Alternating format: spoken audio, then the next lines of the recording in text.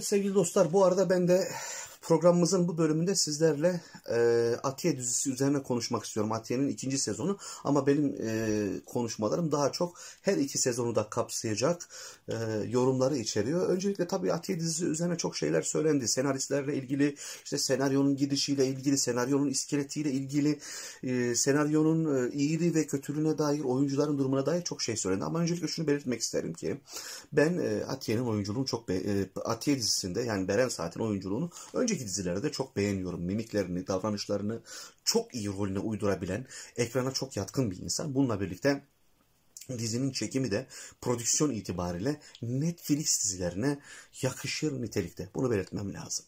Ancak benim bu dizi üzerine söyleyeceğim şeyler biraz daha farklı. Bir kere dizi Anadolu efsaneleri, mitleri, söylencelerinden oluşmuş. Hatta e, İslami değil sadece İslam öncesi dönem özellikle de İslam öncesi dönem ağırlıklı olarak seçilmiş. E, şamanist e, bir takım figürler var. Ne bileyim e, Yahudi paganizminden bir takım figürler var. E, Anadolu'daki bir takım işte o meşhur söylence destan halk hikayelerinden bir takım figürler, metaforlar, simgeler mevcut. E, ve bunların büyük bir çoğunluğu belli bir e, kategoride özellikle diziye yedirilmek istenmiş. Dizi yine bir var olup olmama meselesi, varlık yokluk meselesi. Yani daha doğrusu e, apokaliptik ve biraz da post apokaliptik nitelik taşıyor. Post apokaliptik yani kıyamet sonrası veya işte kıyametten sonrasını tasavvur dizileri için söylenir. Post apokaliptik açıdan e, bir, bir zim literatürümüze hiç yoktan Türk dizi ve sinema literatürüne katkı sağlamış olur. Çünkü bizim hem apokaliptik hem de post apokaliptik nitelikte şöyle çok ciddi bir e, edebi boyutta da bir literatüre sahip değiliz. Bu anlamda önemli bir katkı.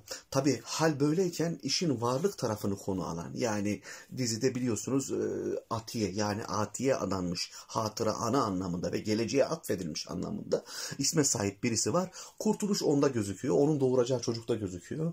Sürekli olaylar e, Göbekli Tepe'ye geldiği zaman değişiyor biliyorsunuz. Göbekli Tepe'ye geldiğinizde orada sezonun sonunda Atiye'nin orada yer altında kalması ve daha sonra olayların başa dönerek tekrar farklı bir şekilde cereyan etmesi. Önceden evlatlığı olduğu birisinin, babası olduğu birisinin e, babalıktan e, haberi olmaması, işte ne bileyim ailelerin yer değiştirmesi, evlat alan kişinin farklı olması, Serdar'ın o kişileri evlat alması gibi bir sürü süreç var.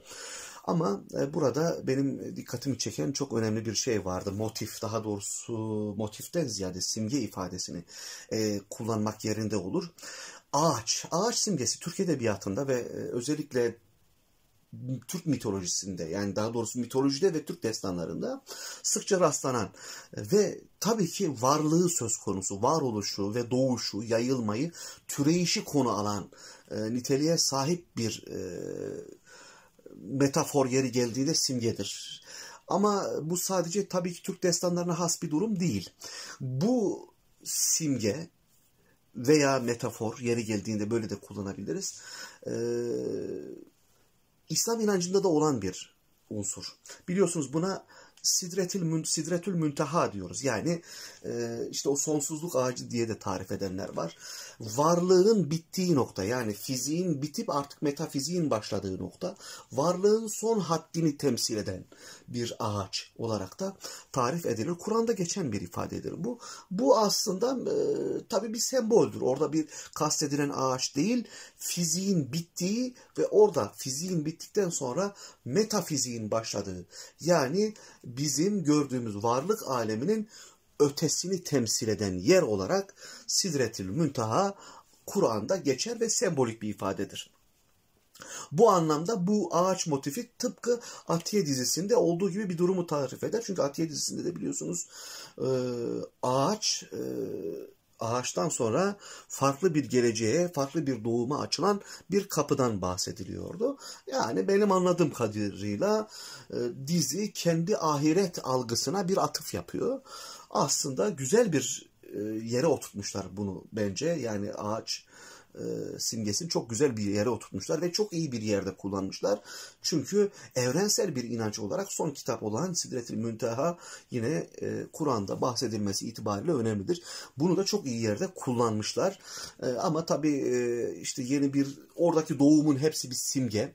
Yani aslında bir anlamda dizi sadece apokaliptik ve post apokaliptik nitelikleri barındırmaktan ziyade anlatım ve olayların gidişi itibariyle fantastik bir dili kullanıyor, fantastik bir e, atmosferi kullanıyor.